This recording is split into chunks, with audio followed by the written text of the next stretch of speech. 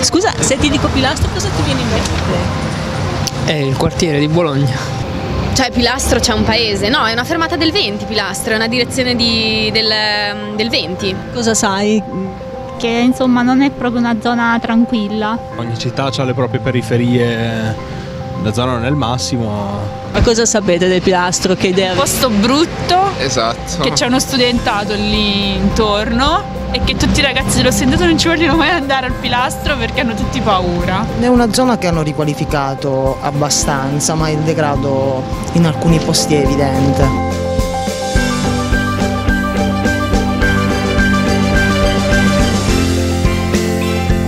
Dovrebbero venire a viverci prima di ripetere così.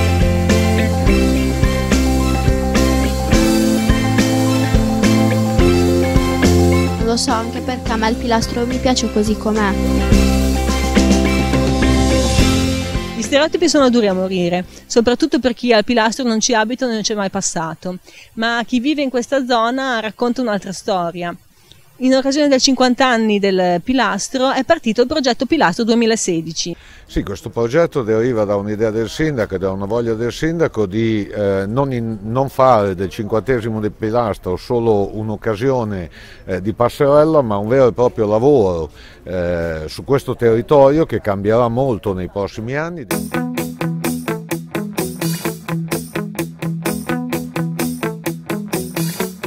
L'anno passato sono state rifatte le facciate di numerosi palazzi che eh, davano una sensazione di abbandono. Il progetto Notag è un progetto che come amministrazione vediamo molto importante perché riesce a dare lavoro e a, alle persone della zona e riesce dire, a migliorare la sensazione di stare in un bel quartiere cosa che io credo sia il pilastro. Eh, il pilastro è diventato un quartiere zona 30, quindi eh, con una mobilità più bassa.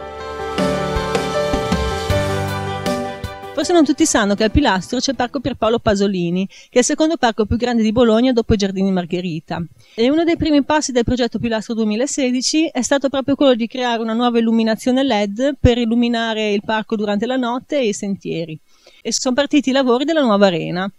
Negli ultimi 7-8 anni abbiamo iniziato delle avventure di riqualificazione urbana attraverso il metodo di scuola cantiere. Ci sarà un grande palco. Prima di tutto sarà la fondazione. Dopo questo piano palco piano che è va... già un punto di riferimento lo useremo per allargarlo, useremo le misure come punto di riferimento per allargare e farlo diventare più largo.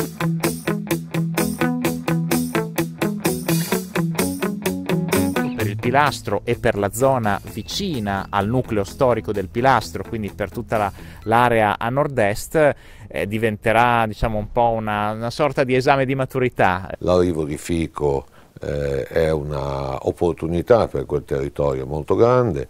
Eh, il, tutta la parte economico-finanziaria che c'è alle spalle del pilastro è una parte molto rilevante dell'economia della città, quindi abbiamo prima di tutto coinvolto le aziende che sono lì vicino chiedendogli di fare con noi un percorso che portasse alla costituzione di un'agenzia di sviluppo locale. L'idea è quella di integrare quindi tre pezzi di territorio diversi e complementari per costruire nel tempo un nuovo distretto di scala metropolitana, la porta di accesso a nord-est eh, alla città di Bologna. L'agenzia si propone quindi di associare piccole imprese agricole non, esercizi commerciali, associazioni. Siccome il eh, bisogno più urgente, in particolare del pilastro, che è l'area residenziale, eh, è il bisogno di, di lavoro, eh, si è pensato che l'agenzia potesse diventare socio sostenitore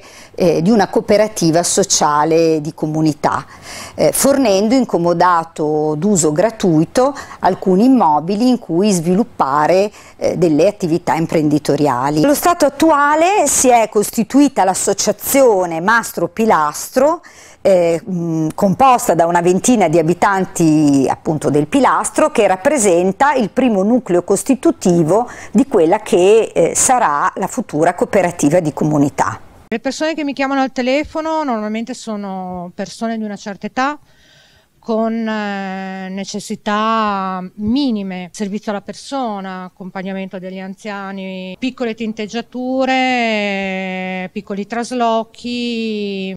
Credo che siano state contente, poi ci conoscono più o meno tutti. Abbiamo fatto un gruppetto per vedere qua muovere sto, sto quartiere. Molte persone ne hanno parlato bene di noi, ma ci sono altre persone che quando ci hanno visto non se l'aspettavano, mi hanno chiesto di che cosa si tratta e noi gliel'abbiamo spiegato un po' del nostro Mastro Pilastro 2016. Speriamo che funzioni, sì. Noi siamo contenti. Io spero che la contentezza si trasformi in lavoro vero e proprio per tutti.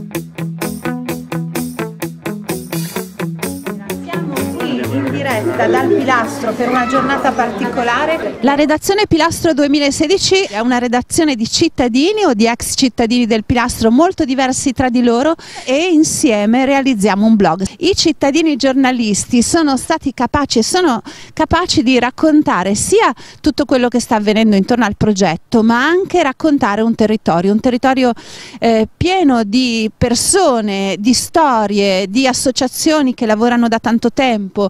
50 anni non sono proprio pochi, sono stati 50 anni intensi in cui c'è stato un sacco di patrimonio di gente che si è spesa creando una rete di associazionismo, di welfare sociale, di autogestione. Col pilastro vecchio non c'era neanche il gas, eh? ricordate? Sull'autunno abbiamo cominciato a sentire il bisogno del riscaldamento e attorno a questa mancanza che eh, si creò praticamente il comitato inquilini. Siamo a DOM, la cupola del pilastro, è uno spazio culturale gestito dalla compagnia teatrale Laminarie. Abbiamo raccolto complessivamente 15, non possiamo chiamarli archivi nel vero senso del termine, ma piuttosto raccolte, praticamente quasi tutte le realtà che hanno operato su questo territorio. Altro lavoro che ha fatto il cantiere comunicazione è un laboratorio ormai di due anni all'interno delle scuole medie Saffi del Pilastro